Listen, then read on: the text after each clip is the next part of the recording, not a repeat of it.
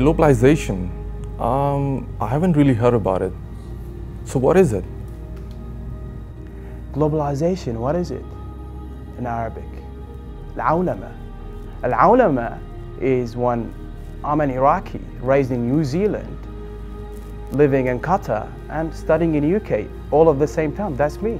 So I'm globalization. Assalamu alaikum, you.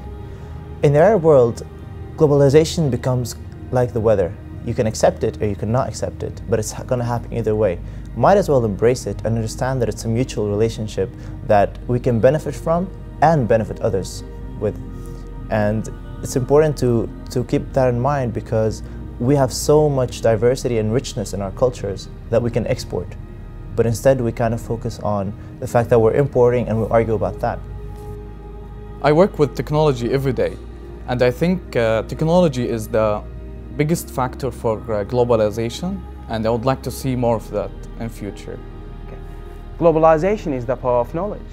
So a person in America can share his idea with his friend from Africa to start an idea in or start a company in Europe with Middle Eastern money. Globalization with a good understanding of cultural identity is definitely an opportunity for the Arab world as it allows for sharing of knowledge, of education, of ideas, as well as trade.